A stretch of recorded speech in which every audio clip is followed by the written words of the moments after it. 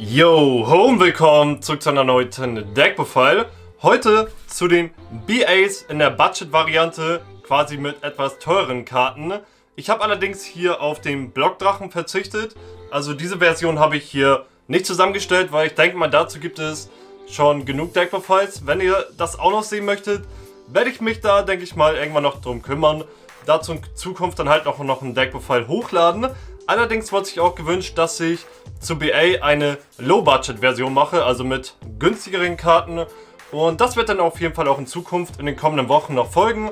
Werde dazu noch ein Video aufnehmen und ich würde mich dennoch freuen, wenn jetzt hier bei diesem Budget-Version Video dran bleibt bis zum Ende. Und ich würde sagen, let's go! Und beginnen werde ich jetzt einfach mal mit den BA-Effekten, die alle Main-Monster gemeinsam haben. Und zwar ist hier erst einmal ein On-Field-Effekt, wenn ein anderes Monster außer einem BA-Monster auf dem Spielfeld liegt, zerstören sich alle Main-Monster halt selber. Das Ganze kann man aber auch noch mit anderen Karten quasi umgehen. Von daher ist das gar nicht so schlimm, ist aber auf jeden Fall ein Downside, ja, den man beachten sollte. Des Weiteren haben sie auch noch zwei Effekte, wovon ihr allerdings nur einen pro Spielzug aktivieren könnt. Erst einmal, wenn halt ein BA-Monster am Friedhof gelegt wird, haben sie jeder unterschiedliche Effekte. Dann noch der Effekt, wenn sie, beziehungsweise können wir sie von der Hand spezial beschwören, wenn wir keine Zauber, beziehungsweise halt Fallen kontrollieren. Und dann würde ich sagen, beginnen wir ganz klassisch hier mit dem Graf einmal und den Zier. Sind halt beide auf 1, was natürlich sehr schade ist. Vielleicht kommt ja irgendwann zurück. Auf jeden Fall ist hier bei Zier der Effekt, wenn sie auf den Friedhof gelegt wird, können wir ein BA-Monster von unserem Friedhof spezial beschwören. Und bei Graf ist es so, dass wir vom Deck spezial beschwören können. Ist auf jeden Fall so die wichtigste Combo, die wir haben. Dann bei den Free-Offs spielen wir dreimal den Fafa. Und der kann Monster bis zur Endphase, ja sag ich mal, aus dem Spiel entfernen. Können auch allerdings unsere eigene nehmen, aber auch die des Gegners. Kann man zum Beispiel auch mit den Kaijus kombinieren.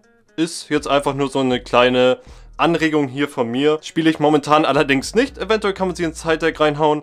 Dann spiele ich noch als Free-Off halt den Scam und er ist unser Searcher. Ist leider erst während der Endphase, also etwas langsamer. Was soll man machen, ist aber halt unser Searcher, daher sollte man ihn auf jeden Fall spielen.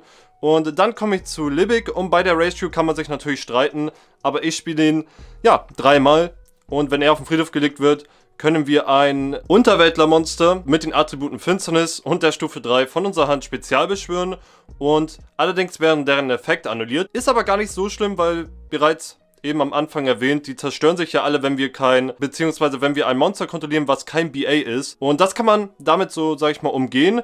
Finde ich ziemlich cool, eine weitere Special Sum von der Hand zu haben, um dann, sag ich mal, auch noch die zweiten Effekte der BAs zu verwenden wenn wir sie halt selber nicht durch ihren eigenen Effekt specialen, können wir das Ganze halt durch Libic machen und das ist auf jeden Fall, wie ich finde, schon sehr stark und daher spiele ich ihn auf 3. Und dann kommen wir zu den One-Offs. Dort spiele ich einmal den Alec, er ist quasi ein Wailer, wenn man das so sagen kann.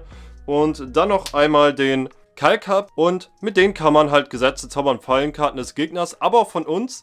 Ist jetzt hier in dem Fall aber jetzt nicht so wichtig. Dennoch auf jeden Fall eine Option, die man halt hat. Halt zerstören. Und ja, kann man halt mit Backroll loswerden. Und wenn wir zum Beispiel halt hier auch Set haben, also Zauber oder Falle halt Set haben, können wir das Ganze halt zerstören, um wieder specialen zu können. Also unsere ganzen BA-Monster, falls das mal nötig sein sollte.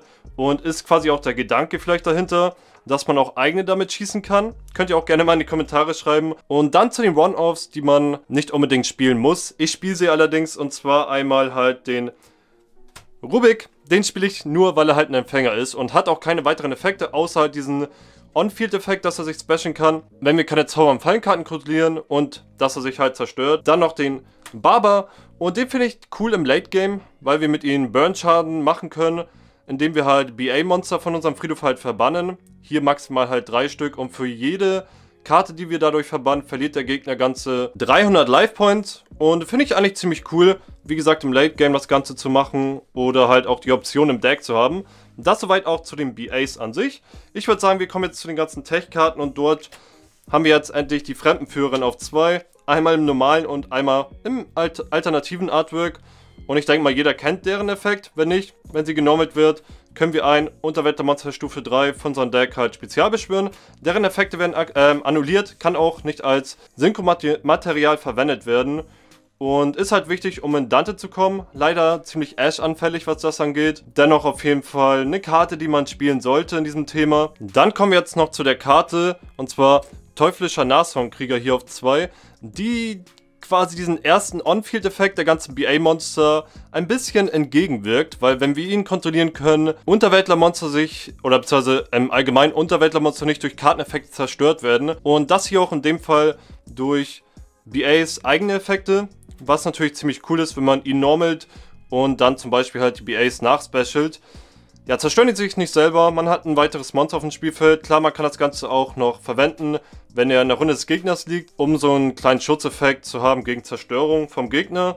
Das soweit eigentlich quasi schon so ein Standard-Line-Up, wenn man so sagen kann. Ich mache jetzt mal weiter mit Karten, die ich eingebaut habe und teste. Bin gespannt auf eure Meinung dazu. Und zwar Angerizum Schirm. Den haben wir in Dual Overlord bekommen. Und wenn der normal beschworen wird, können wir eine Karte von unserer Hand abschmeißen. Was natürlich schon mal cool ist, um die BA-Effekte zu triggern. Zum Beispiel auf Fafa. Hier in dem Fall natürlich somit die beste Option. Das Ganze natürlich erst in der Runde des Gegners. Weil, warum sollen wir unsere Monster verbannen? Klar, könnte man so Monster verbannen, die unsere BAs quasi zerstören.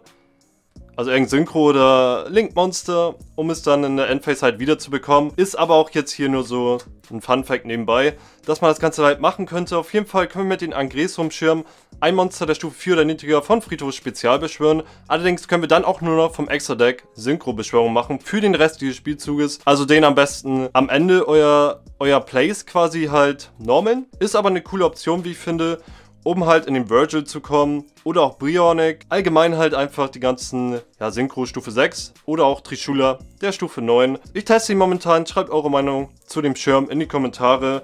Dann mache ich weiter mit quasi dem Bossmonster im Main Deck und zwar den schwarzglänzenden Soldaten. Und der kann sich halt specialen, indem wir ein Finsternis und ein Lichtmonster aus dem Friedhof verbannen. dann hat er einmal den Effekt, dass wir ein Monster auf dem Spielfeld wählen können und dieses zu verbannen. Dann kann er aber auch in diesen Spielzug halt nicht mehr angreifen. Dann hat er den zweiten Effekt, wenn er ein Monster durch den Kampf zerstört, kann er sofort nochmal angreifen. Ist für den OTK auf jeden Fall schon sehr stabil, wie ich finde. Und einmal so im Deck kann man das auf jeden Fall machen. Dann spiele ich Zerstörungsschwert des Zauberbusters. Und ihr fragt euch, warum ich wahrscheinlich nicht den Drachenbuster spiele. Also der, der quasi den Gegner daran hindert, vom Extra-Deck Monster spezial beschwören zu können. Erst einmal der Grund, ich habe diese Karte nicht. Zweiter Grund, dieses Monster ist Stufe 3 und lockt den Gegner quasi, dass er keine Friedhofseffekte vom Monster mehr aktiviert, aktivieren kann. Ist ziemlich cool und da wir keinen Abyss-Dueller bauen können, weil wir alle Monster Stufe 3 haben, können wir das Ganze halt hiermit machen. Also erst unser Abyss-Dueller und natürlich komme ich gleich nochmal, wenn wir beim Extra-Deck sind, zu dieser Karte. Ist allerdings auch nur hier drinne, weil sie Stufe 3 ist, wie sie zusammen mit auch Bujinki, zu denen ich auch noch gleich kommen werde, halt spashen können. Allerdings ist auch zum Beispiel Drachenbuster halt ein Empfängermonster und ich möchte vielleicht den Crystal Needle Fiber, wo ich am Ende des Videos nochmal drauf zu sprechen komme, halt einbauen möchte. Mal schauen, ob ich das Ganze noch umbauen werde, aber bin auf eure Meinung gespannt, was hier ihn angeht. Dann würde ich sagen, machen wir weiter mit den Handtrap und ganz Standard natürlich die Aschenblüte, dann noch den Veiler und ihn spiele ich hauptsächlich halt, weil er Licht ist. Klar, man kann auch den Ogre spielen, weil er auch noch Stufe 3 ist, wird wahrscheinlich noch ein bisschen mehr Sinn machen. Könnt ihr mal ja, eure Meinung zu in die Kommentare schreiben, wie ihr das handhaben würdet. Und als letztes hier noch den Sauravis, der auch ziemlich cool ist, weil wir damit quasi Wähleffekte des Gegners, die unsere Monster halt wählen, mit einem Schnelleffekt halt negieren können. Ist auf jeden Fall eine coole Option, das Ganze zu haben. Und warum ich halt, wie gesagt, Licht spiele, ist halt wegen dem Buster, Busterblader sage ich, wegen den schwarz glänzenden Soldaten. Um halt mehr, sage ich mal, Optionen zu haben, um ihn zu specialen zu können, was das angeht. Klar, wir machen noch Extra-Deck-Monster, die halt auch Licht sind. Dann würde ich sagen, machen wir weiter mit den Zauberkarten. Erstmal bei der Draw Power, Verlockung der Finsternis. Wir spielen halt so viel Finsternismonster, dass Verlockung der Finsternis halt einfach perfekt für dieses Thema ist. Und falls wir unsere ganzen Handkarten abschmeißen sollten, triggert das vielleicht auch noch unsere Effekte. Aber da halt alle BAs Finsternis sind, ist das eigentlich mehr oder weniger nicht so wichtig. Dennoch eine Karte, die auf jeden Fall dem Thema ziemlich gut was an Draw Power dazu gibt. Dann noch eine Karte und zwar ins Grab hinabziehen habe ich hier mit ins Thema eingebaut. Finde ich ziemlich cool, weil Beide Spieler zeigen die Hände vor, was natürlich schon mal cool ist, wenn wir zum Beispiel nur eine Karte auf der Hand haben und unser Play schon so gut es geht durchgezogen haben, aktivieren die Karte, er sieht halt nur diese eine Karte, die er ohnehin abschmeißen muss. Also beide Spieler schmeißen eine Karte von der Hand dann ab des Gegners. Allerdings ist auch wichtig, dass wir halt sehen, was der Gegner auf der Hand hat und wir uns so quasi vorbereiten können, was der Gegner eventuell spielen könnte. Des Weiteren ziehen wir dann noch, noch eine Karte, was auch so nochmal hilfreich ist. Und falls wir zum Beispiel nur diese eine Karte auf der Hand haben, die halt Fafa ist, ist es natürlich auch nochmal interessant, vielleicht auch Scam, um zu suchen. Und wenn wir das halt in der Runde des Gegners machen und Fafa haben, können wir auch noch ein Monster verbannen. Finde ich auf jeden Fall cool, weil unsere Karten, die wir abschmeißen, eigentlich mehr oder weniger mit dem BAs zusammen halt auch noch Effekte triggern können. Des Weiteren können wir damit Nibiru vielleicht auch noch abschmeißen vom Gegner, was auch sehr hilfreich ist. Und dann quasi haben wir auch noch vom Grab gerufen, wenn wir schon von Handtraps reden, sollte auf jeden Fall mit dabei sein, weil halt zum Beispiel halt mit dem Tourguide, den ich eben schon angesprochen habe, der ziemlich Handtrap anfällig ist, hier in dem Fall halt Ash, sollte das auf jeden Fall dabei sein. Da ein Begräbnis halt all unsere BA-Monster triggern darauf, wenn sie auf den Friedhof gelegt werden. Und zusammen mit Turrics Begräbnis kann man das Ganze ziemlich kontrolliert und gut ausführen. Dann noch Wiedergeburt, halt, ja, weitere Specials haben, genauso wie Nachfolge. Habe ich momentan noch drin, die Nachfolge. Ob ich sie weiterhin drin lasse, muss ich mal schauen. Finde sie aber echt nicht schlecht, weil halt erstmal Shirobini eine coole, sag ich mal, Variante dafür ist, um wieder halt ja, ein BA-Monster zu specialen, der auch noch geschützt ist durch halt Cherubinis Effekt. Aber ich denke mal, ihr wisst auf jeden Fall, was ich meine, um weiter in die Plays reinzukommen. Und als letztes spiele ich einmal Top der Trägheit. Ich habe sie jetzt hier einfach nur einmal reingehauen, um halt so ein bisschen mehr recyceln zu können. Und wir millen halt wirklich so viel. Also wir können eigentlich schon fast unser komplettes Stack millen. Und von daher Topf der Trägheit kann man mit reinhauen, um ein bisschen recyceln zu können. Das jetzt hier auch zum Main Deck. Ich würde sagen, wir kommen direkt zum Extra Deck. Dort spiele ich natürlich den Cherubini. Haben hier zweimal dabei. Sein wichtigster Effekt ist natürlich, dass er, wo er drauf zeigt, die Monster können nicht durch Karteneffekte zerstört werden. Ist ja ziemlich hilfreich halt für die BAs selber, damit sie sich nicht vernichten. Und wichtig ist auch noch, dass wir Monsterstufe 3 von unserem Deck halt millen können. Bringt uns halt einfach in die Plays rein. Sehr wichtig zusammen halt mit den Graf und den Zier als Startkombo. Dann noch eine Karte, die ich hier momentan teste, und zwar den Bujinki Ashashima, heißt er glaube ich. Ich halte einmal hier den Effekttext und allgemein halt die Karte in die Kamera. Brauche halt zwei Monster mit derselben Stufe, da wir halt alle Monster fast mit Stufe 3 haben ist sie sehr einfach zu beschwören. Leider kann sie nicht als Link-Material verwendet werden, was ziemlich blockierend ist, was das angeht. Des Weiteren hat sie halt den Effekt, falls sie halt Link beschworen wird, können wir zwei Monster mit der gleichen Stufe, einen von Friedhof und einen von der Hand spezial beschwören und ihre Effekte werden halt annulliert, was quasi wie Cherubini ist, weil die BAs, wenn wir sie halt specialen, quasi deren Effekte annulliert werden, was sehr gut ist, damit sie sich halt nicht zerstören. Dann, wenn diese Monster gespecialt werden, können wir direkt in eine Exis-Beschwörung gehen, also sofort nachdem der Effekt aufgelöst wird, passiert das Ganze, gehen wir direkt in Dante, Zusätzlich, wenn wir einen Effekt von einem Exis-Monster aktivieren, wo wir halt Monster von ihnen abhängen, können wir dann einige Gesetze bzw. eine Zauber der Falle des Gegners halt zerstören, was nochmal cool ist, um Backrow ein bisschen loszuwerden. Und er ist auch noch zeitgleich Licht, was für den Schwarzlenzen nochmal wichtig sein könnte. Schreibt mal eure Meinung zu den Bujinki in die Kommentare. Dann zu den Transportverbund. Der ist halt drin wegen den Dragonbuster. Weil durch den Transportverbund können wir ein Monster von uns mit einem Monster von unserer Hand oder halt dem Deck ausrüsten. Der bekommt dann 1000 ATK dazu und wenn der Zauberbuster ein Monster ausrüstet, kann der Gegner wie gesagt keine Monster im Friedhof halt aktivieren, also keine Effekte von Monstern. Und da er halt Finsternis ist, können wir natürlich alle Finsternis-Monster damit ausrüsten. Und bei Hexer haben wir quasi den Baylor natürlich als Target. Hier natürlich im Worst-Case-Szenario. Und wenn ich mich nicht irre, auch den Angeros Schirm, der ist ja auch Hexer. Genau, den kann man damit zum Beispiel auch ausrüsten.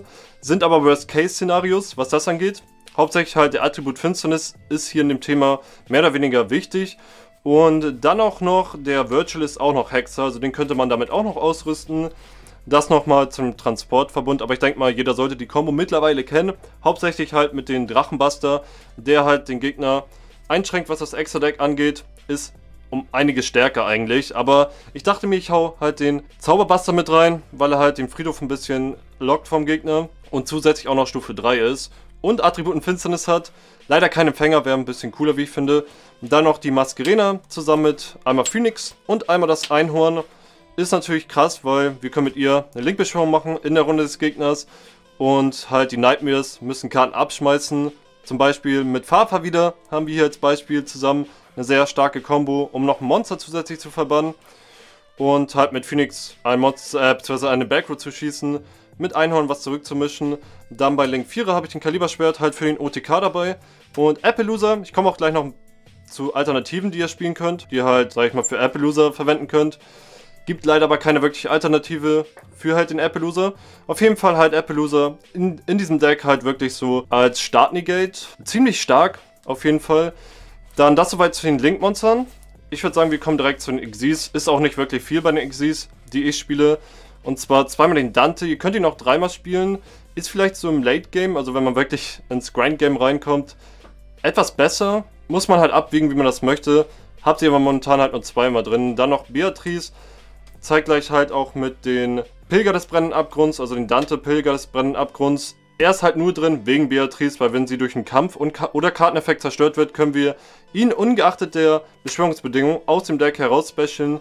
Was auch nochmal sehr cool ist, um Beatrice zusammen mit Dante in der Runde des Gegners, also wir können sie, wenn wir ein BA abschmeißen, halt mit Dante overlayen und dann in der Runde des Gegners halt Monster von unserem Deck am Friedhof legen. Im besten Fall dann halt Fafa. Je nachdem, wenn der Gegner halt zum Beispiel eine wichtige Normissa macht für seine Kombos, können wir die dann direkt verbannen mit Fafa. Und dann noch den Virgil bei den Synchros. Ist auch relativ okay. Jetzt nicht die heftigste Karte, aber dennoch habe ich sie halt mit reingehauen, weil sie halt zu BA gehört. Und dann noch den Trishula. Das sind, wie gesagt, meine einzigen Synchro-Monster, die ich momentan halt im Deck habe. Und das soweit zu meinem BA Budget Deck. Ich habe jetzt noch ein paar Alternativen, die ich wahrscheinlich auch zeigen werde, sobald ich halt das Low Budget Deck mache. Und zwar einmal den Cerberus. Könnt ihr mit reinhauen für zum Beispiel halt die Masquerena oder Transportverbund etc. Könnt ihr halt mit austauschen. Dann den Schwerkraftbeherrscher ist hier Link 1er.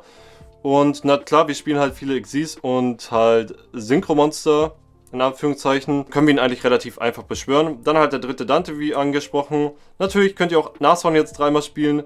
Oder halt den Kalkab könnt ihr auf 3 erhöhen. Vielleicht auch den Alec, beziehungsweise ihn auf 2. Den Alec auf 3, je nachdem wie ihr wollt. Und dann noch die Crusadia Engine. Hier aber in dem Fall nur die Stufe 3 Monster, die können sich halt special in Zonen, wo Link-Monster drauf zeigen. Und könnte relativ, sag ich mal, für eine Budget-Version eine gute Option darstellen. Und dann nochmal zu Chris Needlefiber, den würde ich hier gerne drin spielen. Muss mal schauen, ob ich das Ganze noch mit einbaue. Zusammen natürlich mit einmal den Christon Quantax, TG Wundermagier, die könnt ihr halt damit rausspecialen. Und dann habt ihr halt die Option, mit halt den Quantax in einmal Drexer zu gehen, der halt in die Gate gegen Zaubern fallen ist.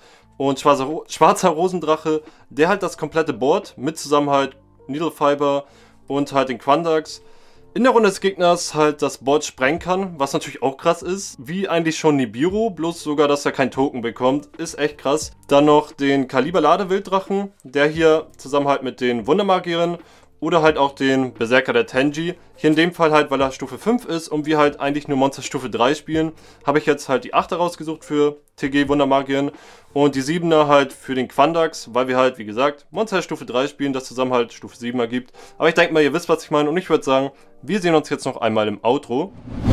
Und wie immer würde ich mich natürlich darüber freuen, wenn ihr Verbesserungsvorschläge, was jetzt hier das Deckbefall angeht, in die Kommentare schreibt oder vielleicht auch Karten, die man mal im BA testen sollte, dann würde ich mich natürlich über einen Kommentar von euch freuen. Aber natürlich auch, wenn ihr dem Video einen aktiven Daumen nach oben da lässt. Allerdings, wenn euch das Video nicht gefallen hat, könnt ihr auch ein Dislike da lassen. Bitte aber auch nur dann, wenn ihr einen konstruktiven Kommentar dazu schreiben könnt. Ich wünsche euch jetzt wie immer einen schönen Tag, Abend, je nachdem, wann ihr es wieder seht. Wiederschauen und rein da!